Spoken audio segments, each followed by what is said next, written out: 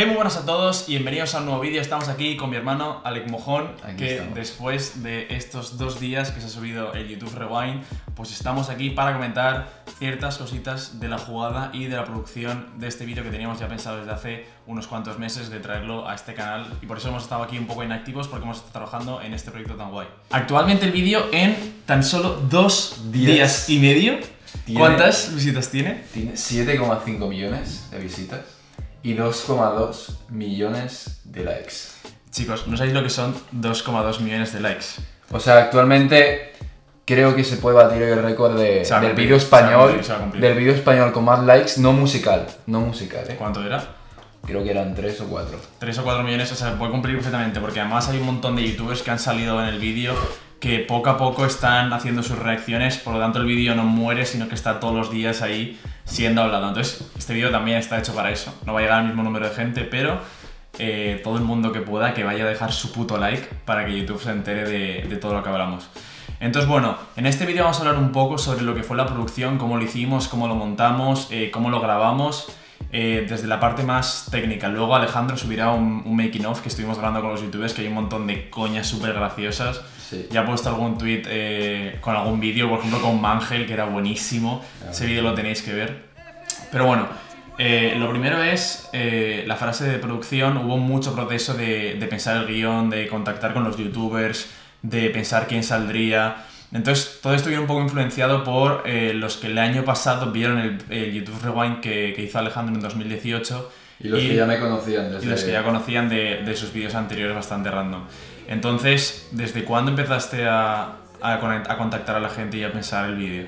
O sea, desde hace tres meses, o algo así, tres meses y medio, empecé a pensar la idea y luego una vez tenía la idea pensada, fue cuando los youtubers que me seguían y a los que pude contactar, porque intenté con muchos y, y algunos fue posible y otros no, eh, pero sobre todo los que confiaron en mí son los que, son los que ya me conocían desde, desde los vídeos antiguos que hacía o los que vieron el YouTube Rewind anterior. El Rubius quiso salir en este, Gref ya me conocía y confió en mí, y así con la mayoría de los youtubers que han salido.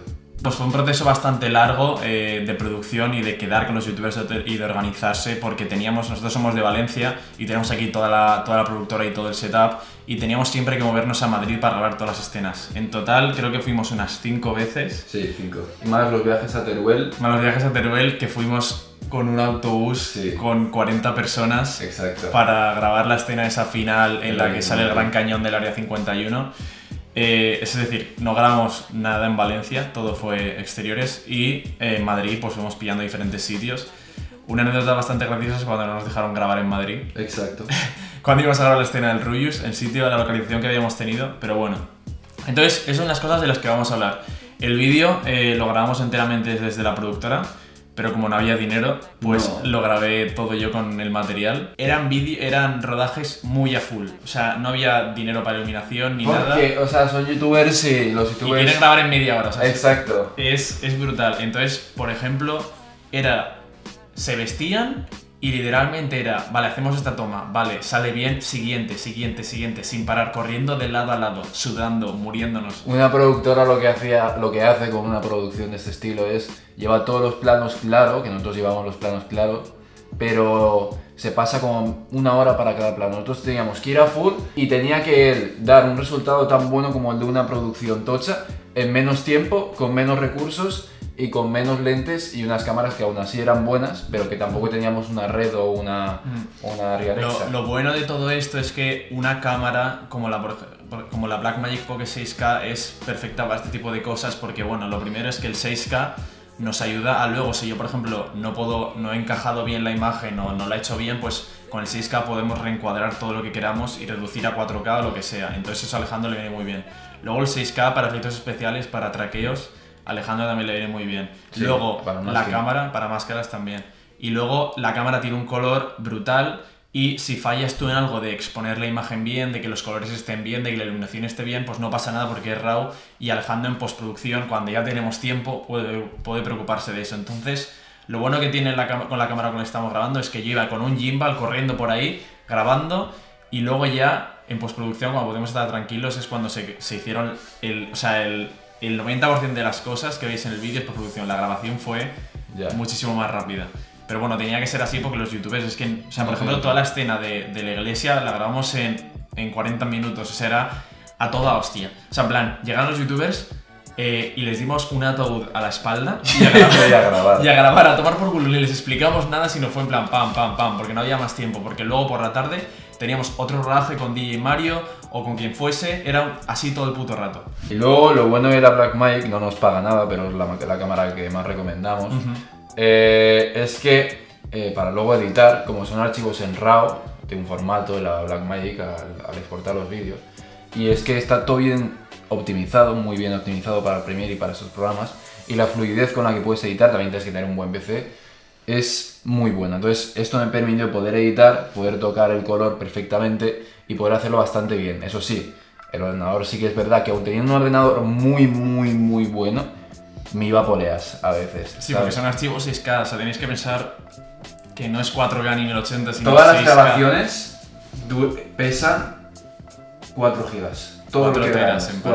Cuatro- cua- joder, 4 cuatro terabytes, 4 Cuatro terabytes. terabytes. Era un disco entero solamente de grabaciones constantes, era una auténtica locura. Entonces, bueno, Alejandro, mientras eh, estábamos, seguíamos grabando, nosotros íbamos una semana, cada semana más o menos a, a grabar a Madrid y lo que hacíamos era eh, copiar los archivos y Alejandro ya se ponía a editar. Entonces tenía como una especie de planning que se lo enseñé yo que se llama Gantt, que es muy sencillo de hacer, con el cual tú tienes diferentes deadlines para diferentes escenas.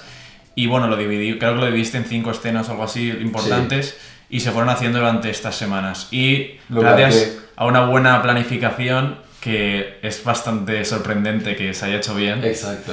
creo que es el primer vídeo que subió Alejandro a tiempo. eh, se hicieron las ediciones bien y bueno, además también es que trabajó mucha gente en hacer este vídeo. Esto también es algo remarcar que el vídeo tiene mucha gente detrás metida, o Sí. sea, hay 50 extras, 20 youtubers, eh, luego fuimos el team patera del Rewind para grabarlo. Sí, a Mario, Oscar, yo y tú. O sea, luego también vinieron editores de Minecraft a hacer sus movidas. Sí, a los animadores de O sea, Minecraft. había un montón de gente metida y, o sea, para hacer este tipo de proyectos en tan poco tiempo necesitas a, a gente pues, que, se, que se mete y que quiera trabajar en él.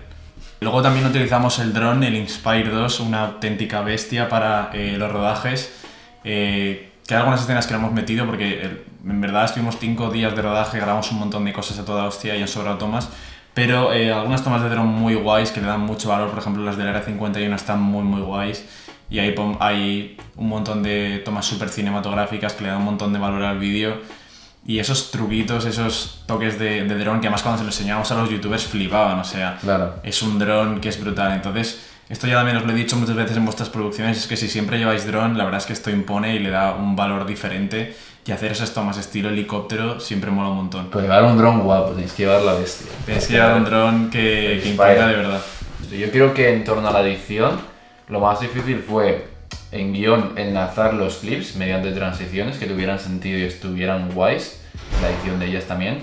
Pero en cuanto a efectos especiales y edición, lo más complicado fue el sonido y el montaje. Es lo que siempre más cuesta, en mi opinión. El sonido, poner que se escuche perfectamente y que guste al espectador escuchar. La escena de Rubius tiene un sonido de la hostia. La escena del Área 51 tiene un sonido bestial. Y es lo que más ocurre, me ocurre porque luego los efectos especiales tú los puedes hacer mejor o peor dependiendo del tiempo que tienes. Y como lo estructuré bien, puedes sacar unos efectos especiales bastante buenos. Mi objetivo fue tener en la escena de Rubius hacer los mejores efectos especiales que podía hacer. Y eso lo, lo pude hacer. O sea, hubo pocos detalles que me quedé con las ganas de, de retocar en la escena de Rubius y porque me lo curré lo máximo posible. Que fue la que, en mi opinión, tenía que currarme más. Debemos conseguir, y puedo hacer el rewind el año que viene, que ya lo veremos, debemos conseguir un presupuesto para seguir invirtiendo en cámaras Sí. y tener un resultado mucho mejor para el año que viene. Que ya es complicado, Que ya es muy complicado. ya es muy complicado, pero siempre hay que intentar mejorar. Lo que queremos hacer es que ahora, gracias a, a la repercusión que ha tenido este vídeo, pues podamos meter más a, a mi productora de HC Films, porque nosotros no soy solo yo solo, sino hay muchos más trabajadores en nuestro equipo, pero como es No un vídeo, como es un vídeo- vídeo de mi hermano, pues eh, solo podemos llevar una persona porque yo puedo trabajar gratis, entre comillas, eh, por un proyecto común, pero eh, mis trabajadores obviamente no. No. Entonces, la idea es que si en un futuro hay dinero, yo que sé, hay sponsors o hay, por ejemplo, un crowdfunding entre los suscriptores, pues se podría hacer eh, contratar a mi equipo para hacer este tipo de cosas. Además también algo que ha pasado es que diferentes youtubers o diferentes eh, empresas nos han contactado ahora porque han visto que hacemos un buen equipo eh, a la hora de productora y ideas de Alejandro y edición que en YouTube funciona. Entonces, ese tipo es, también es un sitio de negocio bueno, que también hay muchas productoras, queráis o no, en España, y bueno, y en Latinoamérica también, que se digan únicamente a YouTube, no solo a cortometrajes y tal.